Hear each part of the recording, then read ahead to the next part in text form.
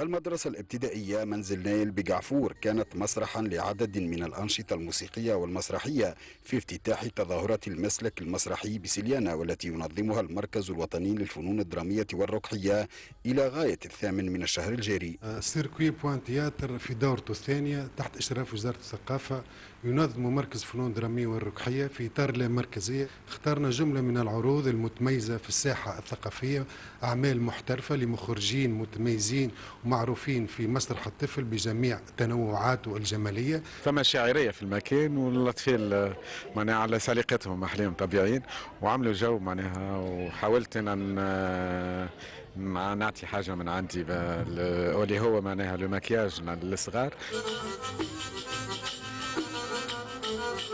وتتضمن التظاهرة فقرات تنشيطية وعروض مسرحية متنوعة لفائدة التلاميذ والإطار التربوي والأولياء إضافة إلى ورشات وندوات مختلفة تهتم بالطفل والمسرح.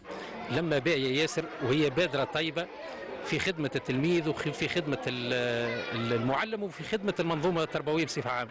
باعتبار أنه المسرح حاجة هامة هو استعملناها قبل وتو وزارة الإشراف آه معناها تسعى باش جاهده باش تكون في خدمة العملية التربوية لانها تضيف على التلميذ. وتسعى التظاهرة إلى الخروج بالفعل الثقافي المسرحي إلى تلاميذ المناطق الريفية وستشمل خمسة مدارس ريفية في كل من جعفور والعروسة وكسرى وسليانة الشمالية من خلال عروض موسيقية ومسرحية وتنشيطية موجهة لهذه الشريحة العمرية. إنه المسرح يخرج من العلبة نتاعو يخرج من الفضاء نتاعو المعتاد ونمشي وإحنا معناتها للصغار للمناطق اللي معناتها تبعد عليهم دور الثقافة تبعد عليهم فضاءات اللي توفر العروض المسرحية هذه. هذه. بمعدل زوج عروض مسرحية يوميا وأيضا يشمل جملة من العروض الموسيقية وعروض تنشيطية إضافة إلى بعض الورشات الموجهة للتلاميذ وأيضا للمربين في إطار يعني اتفاق مع وزارة التربية